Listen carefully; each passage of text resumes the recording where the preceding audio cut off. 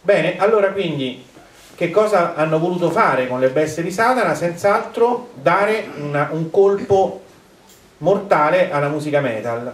In più questo mi viene confermato da tutti i dibattiti che ho letto poi a seguito delle bestie di Satana. Ci sono addirittura esorcisti che si sono eh, sollevati contro la musica metal, ci sono eh, dibattiti di studiosi, eccetera, persone che si sono rifiutate di accogliere eh de, nella loro città hanno protestato perché venivano cantanti che facevano questo tipo di musica, per carità, una musica inquietante, sì, questo è vero, alcune, cioè, i, i, nomi di alcuni gruppi metal sono assolutamente evidenti, Deicide, quindi sono eh, deicidi, ci sono dei testi che sono, inneggiano all'uccisione, mi ricordo un testo, adesso non ricordo di quale gruppo, uccidi il prete, sventralo, sì, alcuni testi sono innegabilmente satanici, ma non è quello il problema della società. Io sono convinto che il problema della società siano molti magistrati, molti avvocati, molti criminologi, molti politici, quello è il problema. Il cantante rock che inneggia al satanismo, casomai è l'effetto di tutto questo ed è un, comunque l'ultimo dei problemi.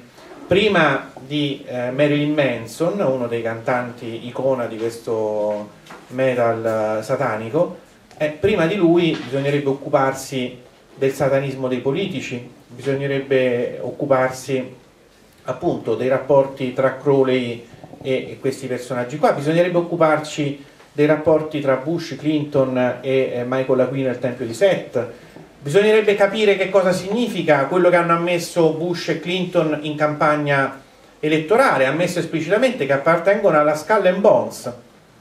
La Skull and Bones è una società segreta, ma non è una società segreta, è una, un ramo di un'organizzazione templare a cui, che comunque è vicina alla Rosa Rossa.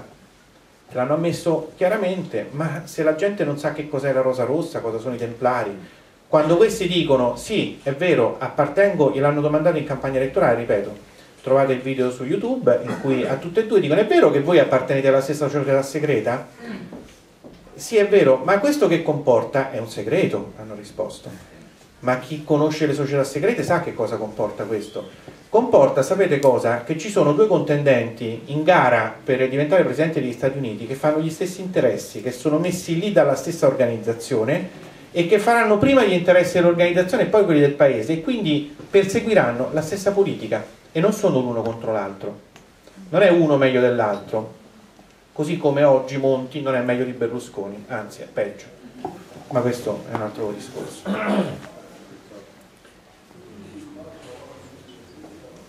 Allora, ripeto, torniamo alle bestie di Satana. Il primo obiettivo che si vuole perseguire è il colpo alla musica metal. Inoltre l'immagine, ancora una volta, si fa quello che si fa col processo Manson. I, sa I, satanisti in Italia non ci sono. Se ci sono, sono dei gruppi di metallari con i capelli lunghi e che ascoltano Ozzy Osbourne, che ascoltano i Deicide, eh, dei Sid, come cavolo si chiamano, eh, e quant'altro. Que questi sono i satanisti in Italia. Non sono i colletti bianchi, non i magistrati, tutti i bambini che scompaiono in Italia li fanno scomparire le bestie di Satana, i metallari. Eh, tutte quelle donne, la donna decapitata a Roma, trovata priva degli organi interni, eh, quelli l'hanno decapitata, eh, cioè l'hanno sventrata le bestie di Satana a Roma. Melania Rea, um, a Riva di Civitella, eh, pare che, il, eh, che, Salvatore Parolisi fosse sia, sia tuttora un membro del Tempio di Set, ovviamente di Napoli, ma eh, non c'entra niente il satanismo in questo caso. È, il satanismo è, ripeto, un fenomeno de, dei metallari che, stanno, che seguono questo tipo di musica. Questo è il problema della società in cui viviamo, i metallari. Quindi deviare dal vero satanismo, da quello che significa, da quello che è. E poi c'è un'altra cosa molto più inquietante, io mi sono detto, beh ma qui non è sufficiente, questo distruggere il movimento metal è una parte, è l'obiettivo pratico, però c'è un obiettivo esoterico, è un rito, questo delle bestie di Satana, questi omicidi sono un rito per propiziarsi qualcosa, dal momento che la dimensione europea, ho pensato, deve essere collegata all'Unione Europea mi sono messo a leggere gli atti, se c'è un collegamento con l'Unione Europea lo devo trovare negli atti. A un certo punto mi colpisce un particolare negli atti che leggo. Dice, dicono i due ragazzi, strafatti di droga, che non si, non si ricordano un cazzo, però si ricordano cosa? Che la musica che ascoltava Nicola Sapone quando andavano era la nonna di Beethoven. Io mi dico no, questo particolare è falso. Perché?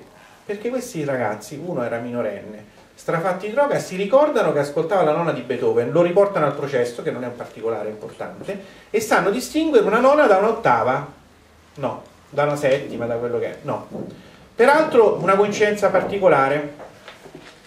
La nonna di Beethoven è la stessa musica che suonavano i drughi nel film Arancia Meccanica. Sapete quel film in cui c'erano questi ragazzi che andavano e uccidevano le persone a casaccio, no? Questi erano sostanzialmente una diciamo, le bestie di Satana. Quello che facevano le bestie di Satana, anzi, i drughi erano un po' più buoni. Le, quel, I delitti delle bestie di Satana sono ancora peggio perché hanno sfondato il cranio a questi ragazzi, gli hanno fatto di tutto. I, i drughi in confronto erano proprio all'acqua di rosa. Bene, è la stessa musica, la stessa cosa, dicono quindi la nonna di Beethoven è una balla raccontata d'arte e deve, essere, deve significare qualcosa faccio una ricerca sulla nonna di Beethoven, no, non lo sapevo come non lo saprà nessuno di voi probabilmente, ma sapete che la nonna di Beethoven è proprio infatti eh, l'inno ufficiale dell'Unione Europea? Eh già. Quindi, quindi ci siamo effettivamente, non solo, poi attenzione, se questo è un rito, se è collegato all'Unione Europea, sui giornali ci deve essere, perché il particolare della cassetta io l'ho trovato sugli atti. Sono andato a rivedere i giornali dell'epoca perché se, questo, se ho ragione troverò la notizia sul giornale messa in un modo chiaramente simbolico. Infatti sul Corriere della Sera c'è la notizia, titoloni dopo aver ucciso Fabio Tollis e Chiara Marino sentivamo l'inno alla gioia. Ecco, quindi quindi avevano, hanno fatto un rito propiziatorio per l'Unione Europea che entrava, peraltro anche le date coincidono. Nel 98, anno dell'uccisione di Chiara Marino e Fabio Tollis, infatti, guarda caso, si vota la Costituzione Europea. Nel 2004, anno no, è il contrario, nel 98 si introduce l'euro, nel 2004, l'anno in cui eh, par... 2000 euro no. No, quando l'hanno creato, non quando l'hanno introdotto. Eh, non quando l'hanno introdotto che, è cominciato, che è cominciato a circolare, l'hanno creato e hanno detto ok, è pronto, è, okay. poi dopo è partito qualche anno dopo.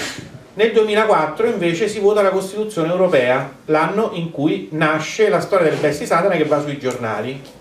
E infatti l'anno in cui viene votata la Costituzione europea deve essere l'anno in cui cominciano a darsi le notizie. Le uccisioni cominciano prima, però le notizie vengono date con l'inno alla gioia e quant'altro a sequenza settimanale, come fanno poi per tutti i delitti, cominciano le notizie e comincia lo stillicidio. Ogni giorno ti martellano con una nuova cazzata su, su Michele Misseri, su Sabrina Misseri, su uh, Garlasco, su Mary, eccetera. Un, un, giorno, sì, poi in tutte le trasmissioni no, vi centellinano i particolari. Eh, oggi Michele Misseri ha detto che il giorno del delitto aveva le scarpe gialle, no, ce l'aveva nere il giorno dopo e così via. E tutto questo sono la sequenza delle notizie che è l'unica cosa che vogliono fare in realtà è bombardare il nostro cervello con queste immagini di morte e perché ci rimangano impresse per una serie di, di fini che poi magari dopo vedremo insomma. però questo è l'unico fine e, l'unico fine è celebrare questo rito e far sapere che loro stanno celebrando il rito. Quindi rito, ripeto, che riguarda l'Unione Europea. Ma a questo punto mi viene anche altri dubbi. Bene, se è un rito che per celebrare l'Unione Europea siccome l'Unione Europea molto ha a che fare con l'Apocalisse, nel senso che, vi spiego, dal punto di vista esoterico, eh, la, la, il 2012 è l'anno in cui eh, si introduce l'Unione, e l'Unione Europea in sé, diciamo, è l'anno dell'epoca della bestia, la bestia dell'Apocalisse.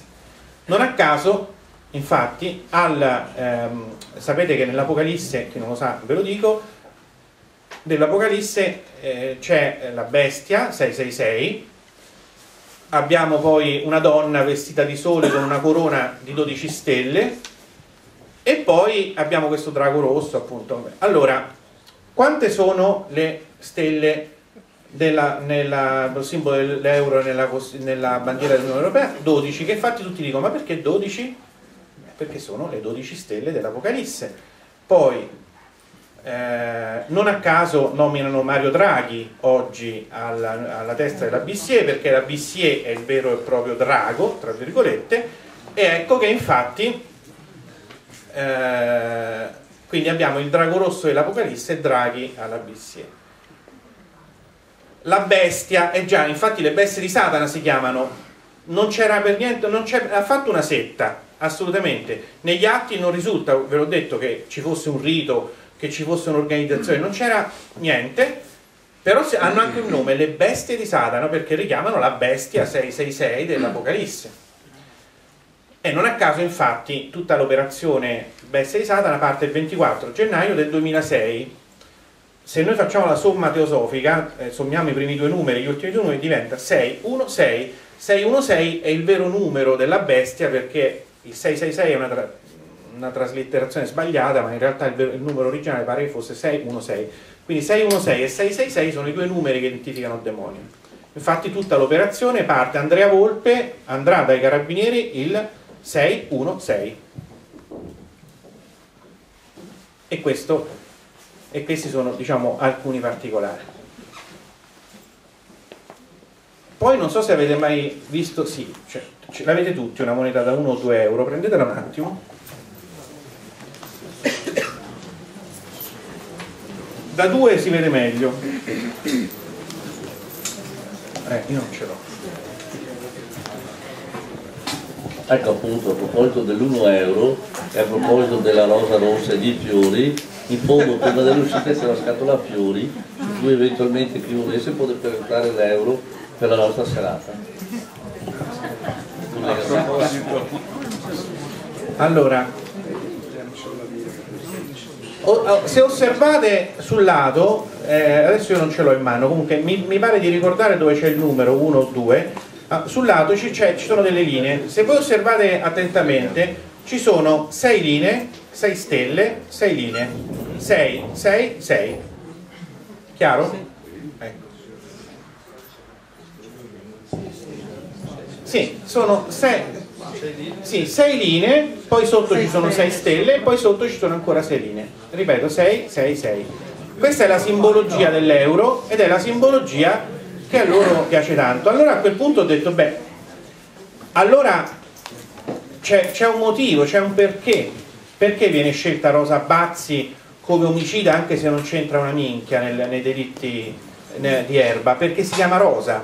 Perché viene scelta Anna Maria Franzoni e Samuele?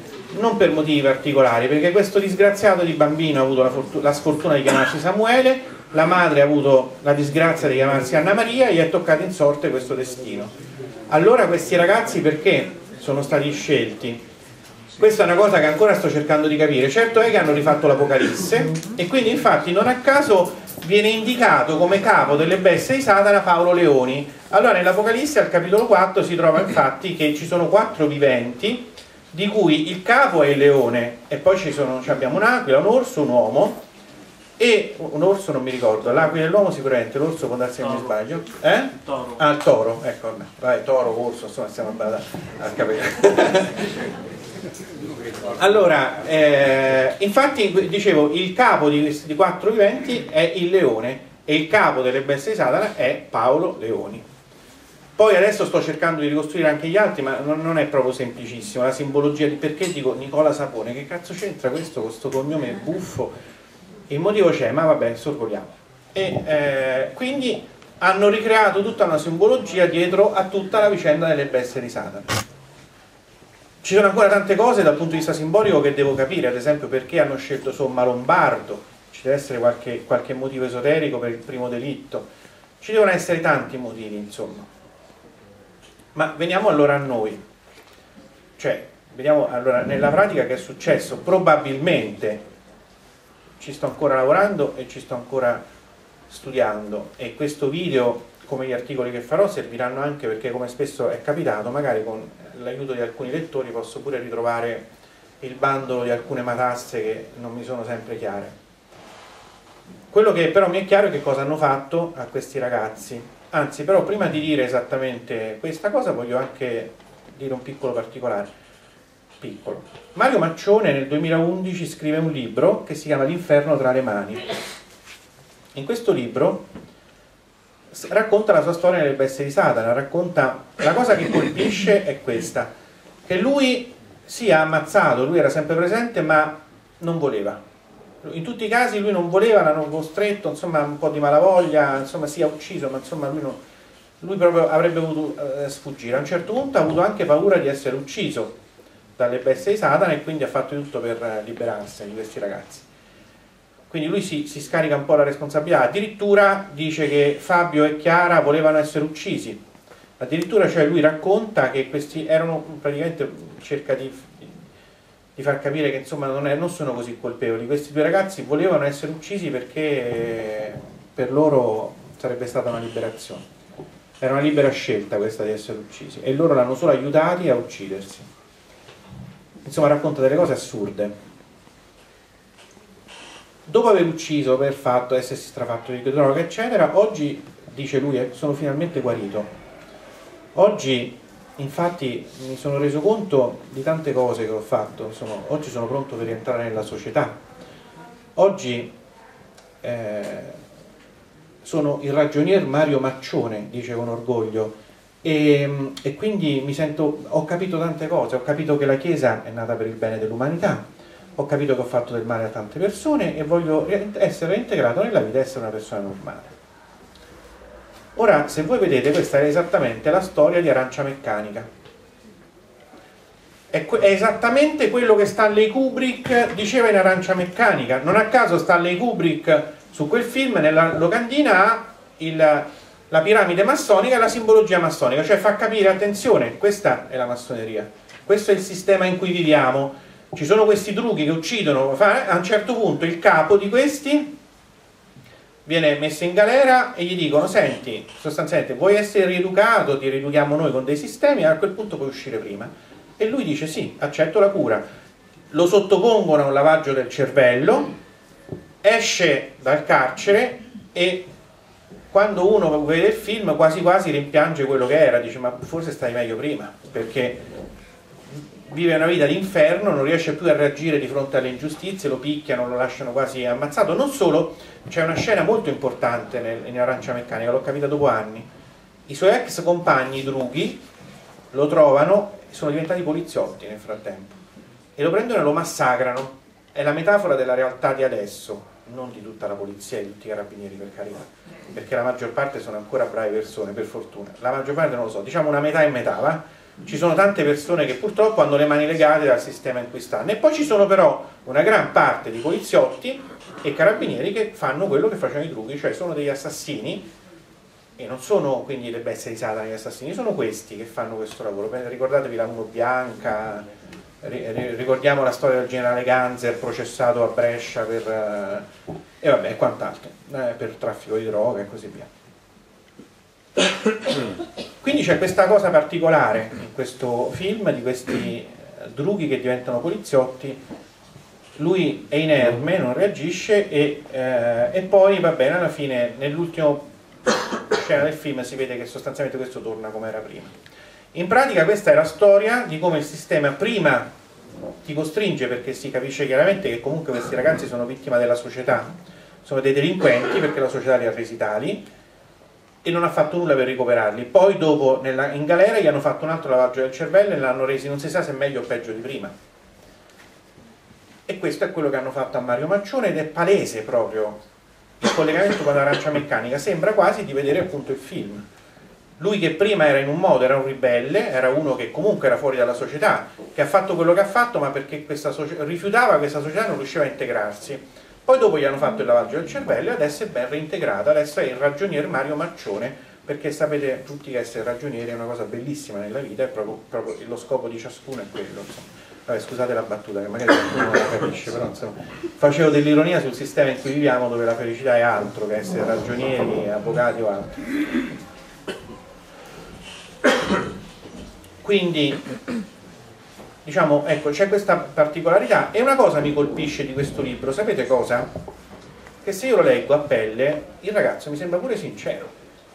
se uno lo legge dice questo ha raccontato un sacco di balle, però guardate io a pelle quando lo leggevo all'inizio dicevo ma questo guarda che sembra sincero, ma sembra convinto quando dice queste cose, non quando dice che la Chiesa è nata per il bene dell'umanità o quando dice che ormai è reintegrato nella società, per carità, quello si capisce che è una, una farsa, ma quando racconta la storia dei delitti, quando racconta che lui non c'entra niente, quasi sembra, quasi sembra sincero, lo percepisco come sincero. Allora faccio una domanda a un amico di questo gruppo, un amico mm, che non è stato coinvolto, cioè conosceva alcune delle persone di questo gruppo e, e si è voluto occupare si chiama Roberto, si è voluto occupare della vicenda di questi ragazzi raccogliendo prove, raccogliendo testimonianze cercando di scrivere un libro per portare un'altra verità rispetto a quello che i media hanno portato. E, ehm, allora domando a questo Roberto, dico senti Roberto, ma tu che hai parlato con Nicola Sapone e con la sorella, che cosa raccontano della notte dopo il delitto? Dice guarda, mi dice più o meno, mi scrive via mail, guarda più o meno eh, raccontano che non, lui racconta che non si ricorda nulla, la sorella dice che il fratello era normale.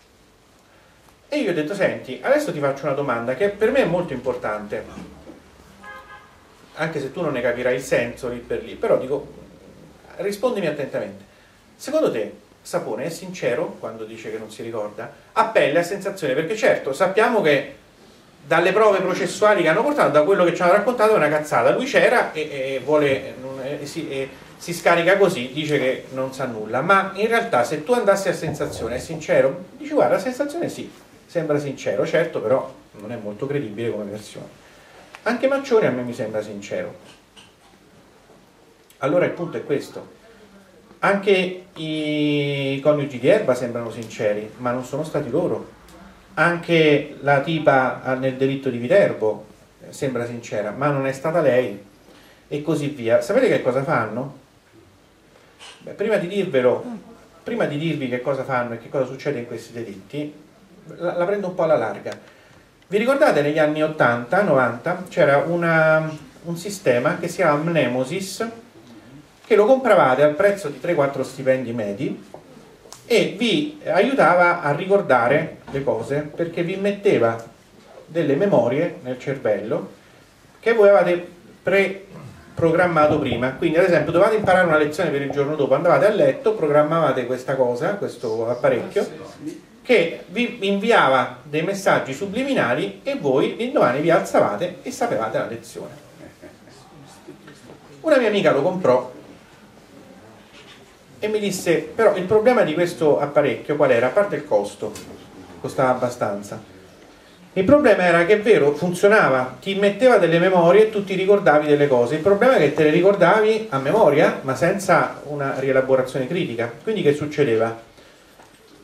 Punto primo, non è che tu dormivi, ti alzavi e sapevi la lezione, il problema è che nel frattempo il cervello aveva lavorato, quindi ti alzavi ed eri stanco come se avessi studiato, allora uno dice, beh, tant'è che studio, invece che dormire per poi, vabbè. Punto primo. Punto secondo, non andava bene per tutte le facoltà, che poi sono la maggior parte, o per tutte le scuole, in cui comunque poi dovevi fare, devi dare delle risposte al, al ragionamento. Ad esempio in diritto, nella mia materia, tu forse ti vuoi imparare a memoria tutte le norme, sì, poi ti dicono, scusa, ma che significa questo? Boh, e non lo sai, perché lo sai solo a memoria. All'epoca mi pare costava tipo un milione e mezzo, due milioni questo apparecchio. Insomma, con due milioni voi potevate comprare un apparecchio che vi metteva delle cose nella testa, che era di libera vendita e lo poteva comprare chiunque. Voi vi potete immaginare cosa possono fare in un ospedale psichiatrico o eh, in determinati centri specializzati con una persona a cui vogliono immettere delle memorie, possono immettergli quello che vogliono e possono anche cancellargliele. Allora questo hanno fatto a quei ragazzi, gli hanno immesso delle memorie, questo hanno fatto a Erba, questo fanno sempre, non è che l'hanno fatto solo qua, lo fanno continuamente. E infatti da che cosa si riconosce che è una memoria indotta? Ci sono diversi indici. Primo, se ci sono due versioni, quindi ad esempio nel caso di Maccione e di Volpe, nel caso dei due ragazzi, sono due versioni che coincidono su alcuni particolari, ma su altri sono completamente discordanti. Perché? Perché quando viene immessa una memoria nel cervello della persona, la memoria c'è, ma tutto ciò che non viene immesso, la persona risponderà lo stesso avrà ugualmente una percezione di quel particolare ma diverso dall'altro. Faccio un esempio, se adesso a, eh, noi siamo qua, non lo so, diciamo 150 persone, bene, a 150 persone io immetto, ne, ah, immettiamo nel cervello la memoria che io adesso ho cominciato a ballare nudo qua sopra. E, e non è vero. Poi fra qualche mese qualcuno dirà ma Franceschetti ha ballato nudo là sopra? Sì. Ah ecco. Ehm, che occhiali aveva? Eh, ma gli occhiali non sono stati messi. Allora uno dirà rossi, un altro dirà gialli, un altro dirà verdi. Poi qualcuno dirà ma mh, quanto è durato il ballo? Eh, a quel punto se non è stata immessa questa memoria uno dirà beh, 5 minuti, un altro dirà mezz'ora, un altro dirà 2 ore eccetera, a seconda della percezione soggettiva. Ecco perché Maccione infatti descrive gli omicidi e dice ma io non c'entravo, io non volevo, io, io, anzi poi ero strafatto di droga, non mi ricordo, lui cerca di rimuovere. Eh, ecco perché poi forse, forse eh, tutte e due dicono eravamo in tre, l'unico che se ne è stato zitto perché non ricordava niente e si è beccato l'accusa di essere il più crudele, quello che era il tecnico che li sgozzava, che addirittura uno che ancora era vivo gli ha messo un riccio in bocca per farlo stare zitto e poi l'ha finito eh, a colpi di mazza sulla testa, se non ricordo male. Perché? Perché nessuno di questi aveva regge la coscienza di aver fatto una cosa del genere, allora doveva essere un altro.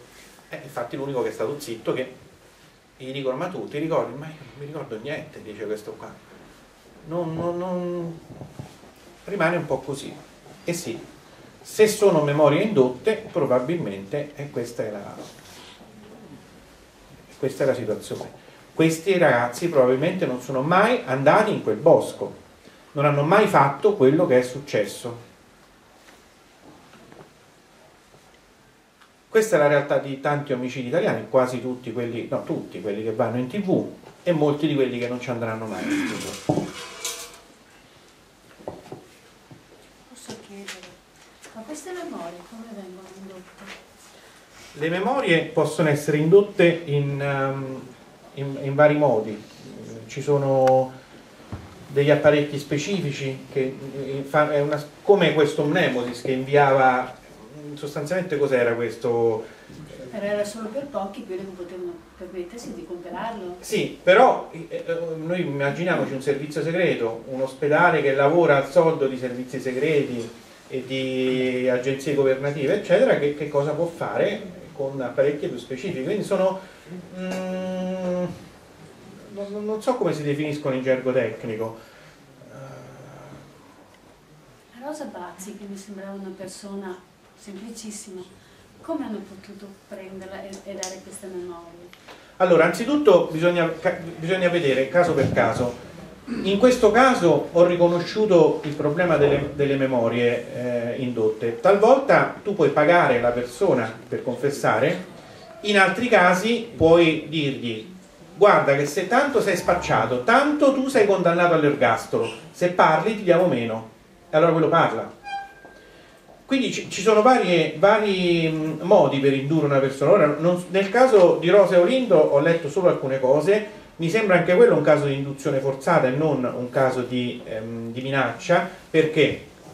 Perché quello che mi ha colpito è che anche lì loro sanno dei particolari che solo l'assassino poteva sapere, però è anche vero che ciascuno dei due attribuisce a sé la propria responsabilità. Però, e questo perché? Sì, perché come dicono i giornali loro si amavano, quindi ciascuno non vuole colpevolizzare l'altro, ma anche perché proprio perché si amavano, avevano questo rapporto particolare, tra di loro, ehm, cioè sì, ognuno dei due se lo attribuisce sì, a se stesso, insomma, ecco. Que- quindi questa è la, è la, possibile spiegazione. Poi in ogni caso bisognerebbe andare a vedere. Nel caso eh, di... Beh, poi in, in Cogne se c'è un, una memoria è una, una, una um, cancellazione della memoria e non un... Um, e non uh, un'induzione perché lei non ricorda niente, ma secondo me non era quello il problema perché ripeto, non era anche lei non aveva una goccia di sangue addosso ed è un buco temporale che riscontriamo in tutti i delitti di questo tipo, tutti, senza nessun escluso. E lei era depressa, stava seguendo delle cure di depressione. tutte queste persone sono sempre, sempre eh, sotto psicofarmaci, sotto droghe o in cure da psichiatri. Talvolta in alcuni delitti ho riscontrato addirittura gli stessi psichiatri pure a distanza di centinaia di chilometri, quindi sono sempre loro sostanzialmente, e perché poi le persone che fanno queste cose sono anche abbastanza poche. Sono sempre gli stessi criminologi in tv, perché? Perché dopo un po' uno lo scopre, cioè questa è una cosa talmente banale che alla fine si scopre, quindi non, non puoi cambiare continuamente il criminologo, devono essere sempre gli stessi disposti a dire le, sempre le stesse cose. Sono spesso sempre gli stessi avvocati, sì, anche se poi questo spesso neanche ce lo dicono tanto perché alcuni aspetti, perché sennò la gente capisce, ma a volte, cioè abbiamo visto che ad esempio l'avvocato Biscotti sta eh, al delitto Meredith, al delitto di Avetrana, al delitto di, um, al caso Marrazzo e passa insomma questo lo, lo, sappiamo, ma non sappiamo che però ci sono molti altri nomi che ricorrono e che questo avvocato è in molti altri delitti che magari non fanno così scalpore, però comunque sono sempre la stessa organizzazione, sempre con la stessa modalità. Dove trovano tutti questi soldi per pagare questi avvocati di gente? Eh, questa è gente, questa è una... Ah no, ah, no ah, ho capito che hai detto. Certo, l'altra domanda è dove trova, si diceva Fiorenzo giustamente, dove trova eh, la famiglia Scazzi i soldi per pagare gli avvocati migliori d'Italia? In effetti quasi tutti questi dichiareranno di lavorare gratis, perché in gran parte è vero, anche Taormina diceva di lavorare gratis per la Franzoni, e sicuramente è vero, perché hanno, diciamo, la loro paga è altro. Quindi sì, nella maggior parte ma poi non solo, ma anche lo staff di periti, criminologi, eh, cioè Pacciani ha uno staff di periti e criminologi che mh, mm, cioè, ci potevi mantenere 25 famiglie per 50 anni con quanto aveva speso solo di periti e avvocati. Quindi ah, preso, ne, aveva presi 5, 6, 7, adesso non ricordo, solo di criminologi che gli hanno fatto le perizie. Infatti la realtà è ben diversa. Io da avvocato so perfettamente qual è la realtà so che la vittima non c'ha mai una lira e quando devi fare una perizia e dici ma chi te la fa? Se te la deve fare seriamente. E spesso invece quei, quei criminologi che poi sono sempre gli stessi a, gestire questi, sì, sì, sì, forse la farebbero pure, ma è ovvio che visto che non, non sono in grado di accorgersi di questi buchi temporali col sangue eccetera, quantomeno non sono molto attendibili sulla ricostruzione della dinamica dei delitti, quantomeno.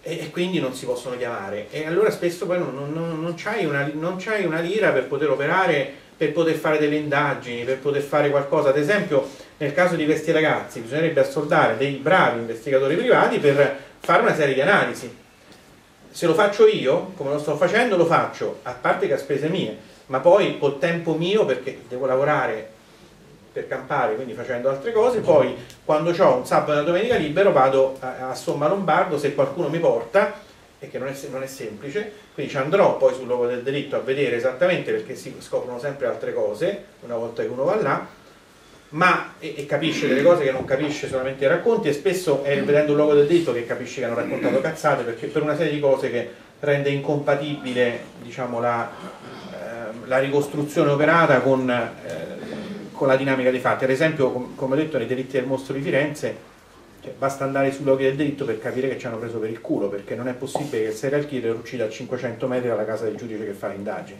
Quindi qualcosa non va, no? E in mezzo alla strada per giunta. Quindi, cioè, è proprio una cosa che non sta in piedi. E quindi in, al in altri casi, quando sono andato sul luogo del delitto, eh, ho visto che in effetti eh, cambiava tutta la percezione della realtà che uno aveva e dice ok, non è possibile che hanno fatto quello che quello che hanno fatto. E, ehm, ora, il problema però qual è di questi, di questi delitti? Questa è una cosa di cui purtroppo dolorosamente me ne sto accorgendo da poco. Anzi, ne ero accorto infatti che volevo fare a dicembre volevo cancellarmi dall'albo degli avvocati perché non ce la facevo più, cioè ho detto va bene ma è inutile, comunque è un fenomeno contro cui non si può combattere. Peraltro spesso le vittime stesse di questi delitti non capiscono la realtà quindi, e non la vogliono capire. Quindi tu vai anche a parlare con i familiari delle vittime, cioè, ma non, non, capiscono queste cose, non vogliono capirle spesso e, e rimangono fermi, ancorati nella loro realtà. E quindi, visto che la cosa è così, dentro di me ho detto, vabbè, mi cancello. Quando è arrivato uno di questi ragazzi che per vederlo l'unica cosa che posso fare è stare in carcere, ho detto va bene, rimango iscritto all'albo e quindi rimarrò ancora, anche perché devo dire che per la prima volta mi trovo una persona vittima in qualche modo di questo sistema che ha deciso di capire. Perché nella maggior parte dei casi le persone non vogliono capire. E questo è il problema più importante. Vi voglio raccontare alcuni episodi per farvi capire di, cioè, che tipo di situazione abbiamo. Allora, mi è capitato le prime volte che mi occupavo di questi delitti, quando scoprivo qualcosa di importante su un delitto, ho fatto l'errore, che poi ho imparato a non rifare mai più, di telefonare ai familiari e dire guardi io ho delle notizie importanti, non sia mai, ti pigliano per paranoico, per uno che vuole farsi pubblicità, per uno che chissà quanti soldi gli chiederà, per esempio una volta scoprendo una cosa banale di Pantani, che il giorno del delitto corrispondeva al numero 13 della morte, che era morto all'hotel Rose, che avevano alterato le perizie, che c'era una serie di incongruenze, ho detto ok, qui c'è appunto la Rosa Rossa, ho provato a contattare la famiglia Pantani, non, non, non dico, non, non, è che avrebbero dovuto dirmi grazie, ma proprio non mi hanno trattato come se fossi un... boh, non, so neanche, io comunque sono rimasto un po' stupito. Eh, una volta una mia amica mi ha dato il numero della, di alcuni familiari della famiglia Gaetano, Rino Gaetano, morto in circostanze assolutamente anomale, Io vado spesso, in, ho scritto articoli, vado in giro per l'Italia a dire che era un eroe questo Rino Gaetano perché nelle sue canzoni metteva, scriveva della Rosa Rossa, diceva, la denunciava, diciamo così, e è morto per questo. Quindi sostanzialmente sto dicendo, dico che è un eroe. Bene, alcuni familiari mi hanno detto che io dicono che eh, mi hanno riportato che io faccio schifo. Perché non lo so? Perché io non è che ho mai guadagnato una lira da questa storia di Rino Gaetano non, eh, non mi faccio pagare per venire qua. Fiorenzo sa, sa, che Giù. sì, mi ha pagato l'albergo, ma il viaggio me lo pago io. L'altra... Perché lo sei dato la casa e, l'altra... e l'altra volta pure quindi non si capisce che, qual è il vantaggio di queste cose oltre a essere preso per matto, per visionario oltre ad avere una serie di circostanze nella mia vita che non è che sono del tutto piacevoli quindi comunque sono io che faccio schifo, quindi non il sistema, non la gente che ha ammazzato, non chi occulta i delitti, no, io. Vabbè. E poi il problema è, far capire. Adesso quindi dopo due episodi, tre, non vado più quando scopro qualcosa da, da un familiare, perché dicono ho già dato, io del resto ho un sito, se qualcuno vuole delle informazioni scrive come ha fatto questo ragazzo che mi ha scritto e mi ha detto ecco io vorrei capire e allora sì, allora è la prima volta che mi capita una persona che dice voglio capire, io ho chiesto ma sei disposto a rivedere tutto quello che pensi di te, del ruolo nella tua vicenda? Perché non è bello pensare di essere eh, inserito in un meccanismo del genere, essere strumentalizzato perché ti chiami in un modo o in un altro, perché, perché, delle, eh, perché sembra una follia, no? D'altronde l'alternativa è pensare che un pubblico ministero si sia impazzito e non riesca a vedere le prove, i giudici si siano impazziti e abbiano condannato dei ragazzi innocenti con delle prove palesemente farlocche, poi un appello abbia considerato, e poi dei, ci sono tutti i criminologi, giornalisti che non vogliono assolutamente vedere la realtà. Infatti questo Roberto, questo ragazzo che ha raccolto le prove a favore dell'innocenza di questi ragazzi, mi dice, quando contatto un giornalista, gli presi dicono interessati e poi scompaiono. Tuttavia io non riesco a far capire neanche a questo ragazzo che c'è qualcosa di diverso. Perché che succede? Che le persone che sono coinvolte in questa cosa eh, sono talmente ancorate alla vecchia realtà, quella che ti danno i giornali, quella che ti danno eh, i, i, mass media, eh, quello che ti hanno raccontato tutti gli esperti, che io continuo a parlare con questo ragazzo Roberto e gli dico Roberto ma non ti sembra che ci sia qualcosa di... e lui continua a giustificare la sua realtà eh, preconcetta, gli dico del sangue, dice ma forse avranno messo delle coperte in macchina. Sì, ma queste coperte, se, se, le hanno messe, magari però le avranno dovute lavare. Poi non è che basta mettere delle coperte, perché c'è il volante, sono tutte, cioè insomma... Però pur di giustificare l'immagine, cioè la, la, la, versione che hanno dato, eh, alcune versioni che hanno dato eh, ufficialmente i, i tribunali, eccetera, continuano a essere ancorati su questo. La stessa madre di uno dei ragazzi arrestati fa fatica a credere a queste cose che gli dico Eppure sono cose che vanno a favore di suo figlio, no? Addirittura tanto a favore. Eppure dice, ma, ma come? Ma ha confessato, sono stati sicuramente loro. È difficile È difficile, però, però il problema è che uno, quando si trova di fronte a una realtà del genere, perlomeno dovrebbe ascoltare. Poi la madre di questo ragazzo ha fiducia nel figlio, alla fine dice, senta avvocato, io non è che la capisco molto, però comunque ho fiducia in lei tanto poi non è che ha molta scelta, comunque figlio all'ergastolo, quindi insomma non è che ci sono, si può scegliere tra molte versioni diverse. Allora, però voglio raccontare un po' di, di episodi, diciamo, che, che, sempre fanno capire com'è la mentalità dietro a queste vicende. De, uno dei fatti che più mi ha colpito, no, anzi prima parlerò Vabbè, adesso vado all'impronta. Allora, sì, un magistrato del Tribunale di Roma, Paolo Ferraro, che cosa fa? Eh, ha prove, mm, si, si procura delle prove dell'esistenza di una setta satanica in ambito militare. Fa denuncia ai colleghi, i colleghi, i colleghi della stanza accanto, tempo pochi giorni si ritrova destituito per infermità mentale perché il satanismo è un fenomeno che non si può toccare. Se poi dici che il satanismo sta in ambiente militare, ma per carità, Salvatore Parolisi affiliato al Tempio di Sette, è un militare, lo si scopre adesso, però forse è l'unico? No, dovrebbero essere tanti probabilmente, ma vabbè, comunque. Lo destituiscono per infermità mentale. Inizialmente un po' non, non capisce e allora che cosa si fa? Si fa difendere e si fa fare delle perizie mh, mm, da alcuni personaggi che compaiono spesso in televisione a fare le perizie. Ovviamente questo si traduce in un boomerang nei suoi confronti, questo è chiaro. Gli dico, eh, ci parlo, mi chiede un, dei consigli, gli do delle consulenze, gli dico Paolo, devi, secondo me, tu hai toccato un tasto che non si può toccare, non lo può toccare nessuno, chi lo tocca in genere muore, tu sei fortunato ad essere ancora vivo per una serie di circostanze.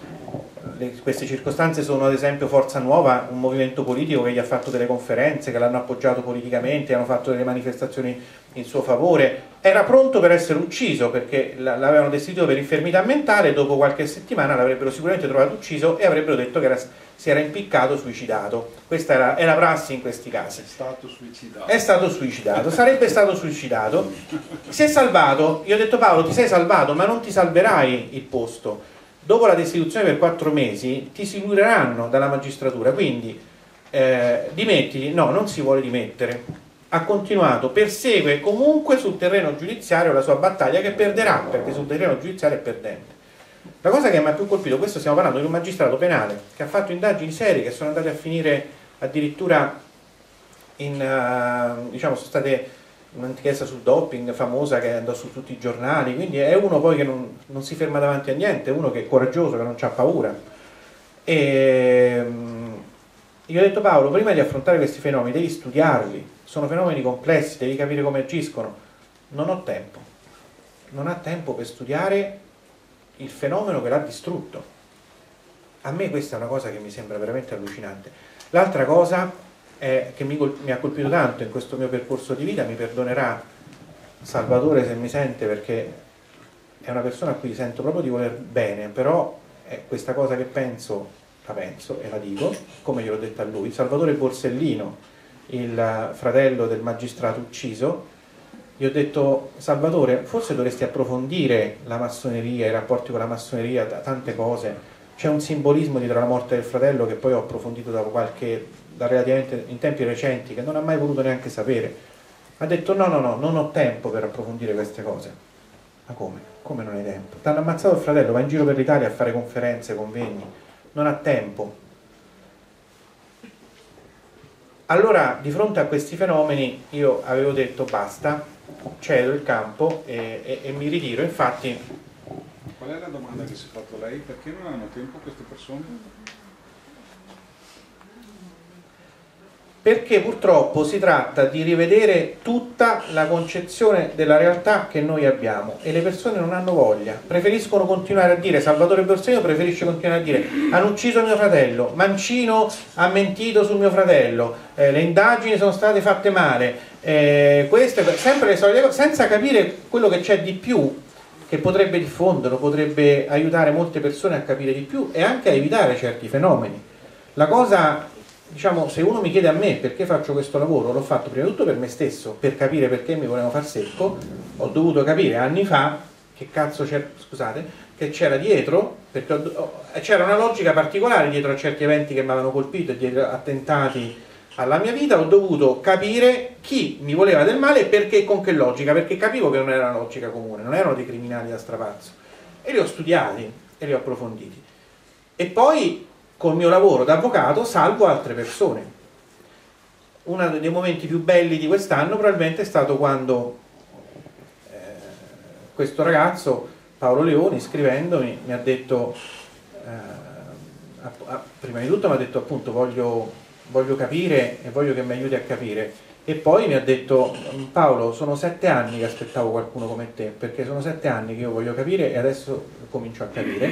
E sentire la voce della madre felice, felice, beh oddio un termine un po' grosso di fronte a una vicenda del genere, però diciamo più serena, contenta che il figlio ha avuto comunque una nota di speranza pur dal carcere, ecco questo, per questo lo faccio. E lo faccio per salvare vite umane, se posso, non, ne, non posso tante, però Paolo Ferraro forse insieme ad altri con, con il movimento di Forza Nuova, forse gli abbiamo salvato la vita, non vuole seguire alcuni consigli che sono sicuro siano buoni, e che appunto quello di dimettersi dalla magistratura prima che lo dimettano loro, prima che dicano che è lui che deve andarsene e fare l'avvocato e non aspettare che lo buttino fuori a calci in culo per poi tu, che tutti dicano questo è il magistrato che hanno buttato fuori per infermità mentale, ma questa cosa non la vuole capire. Però comunque tante situazioni in questi anni, poche, non tante, poche situazioni siamo riusciti a salvarle, a intervenire, a spiegare non si può fare molto, ma spesso si può eh, evitare dei guai a una persona, si può dargli la speranza, comunque gli si può, capendo quello che c'è attorno, spesso riesci a muoverti meglio. Quindi queste persone, dicevo, perché lo fanno? Perché non vogliono fare la fatica di andare in una realtà completamente diversa, di capirne la logica e... Mm, Questo comporta il fatto che si dovrebbero mettere in discussione da eh sì. minore tempo insomma, e, e, rivoluzionare tutta la loro vita? Certo, perché dovrebbero mettere in discussione tutta la loro vita e, e, tutto, e tutto il loro credo, però è anche vero che in alcuni casi, ad esempio Salvatore Borsellino, io sono convinto che lui non pensi che sia matto, semplicemente pensa che non vuole approfondire. Paolo Ferraro sa perfettamente che non sono matto e che ne so più di lui in queste cose, proprio non vuole, non vuole. E invece purtroppo questo fenomeno potrebbe essere sconfitto, tra virgolette, a livello giudiziario solo quando ci fossero tante persone che ne sono consapevoli e si cominciasse a fare formazione anche nelle scuole di polizia, dei carabinieri, eccetera, per far conoscere questo fenomeno. È ovvio che purtroppo, siccome questi fenomeni sono creati dalle persone che mano manovrano questi fenomeni, questo non, non avverrà mai, perlomeno per un po' di tempo. Però questo è l'unico modo in futuro per uh, poterli sconfiggere, eppure non lo vuole fare nessuno.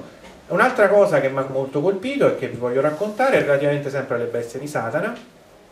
C'è una signora, una donna, a cui hanno ucciso il figlio, Doriano Molla, e, ehm, e lei da, da, anni si batte perché venga riconosciuto che è un omicidio e perché si facciano delle indagini, ma hanno sempre archiviato.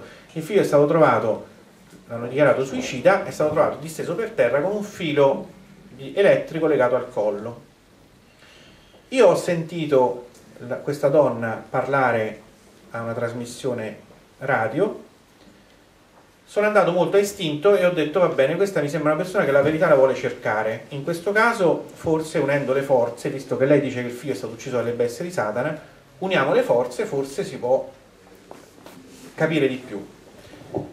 Certo, sapevo che mi scontravo su un terreno minato, però ci ho provato.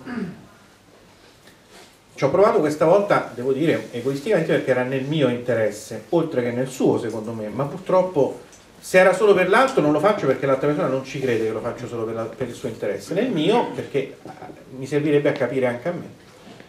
Io ho detto signora, allora io eh, mi sto occupando di questa vicenda, sarebbe nell'interesse comune cercare di capire la verità e perché secondo me questi ragazzi non c'entrano. Ah, allora avvocato siamo su due posizioni diverse, mi fa. Non possiamo mai andare d'accordo con lei. Allora, me l'aspettavo questa, questa cosa e dico sì signora, però vede, io non devo difendere Paolo Leoni, Marco Zampollo o Eros Monterosso. Io voglio cercare la verità. Se scopro che questi ragazzi mi stanno mentendo, non, non, non, non li difenderò. Io cerco la verità indipendentemente da chi mi, mi dà mandato per cercarla. E, e, quindi penso che sia nessuno. Sì, ma scusi, eh, come fa a dire che questi ragazzi non c'entrano? Eh, l'hanno accertato dei giudici in sentenze. Quindi, prima, prima cosa che veramente a me mi ha lasciato un po' sorpreso, ma come? Ti stai battendo contro una giustizia che non funziona, ti archiviano continuamente il caso di tuo figlio e non vogliono ammettere che è un omicidio, quindi sostanzialmente non stanno vedendo delle prove, però dei giudici hanno detto che questi ragazzi sono colpevoli e per te sono colpevoli. Va bene. Allora io ho detto, signora, senta, scusi, eh.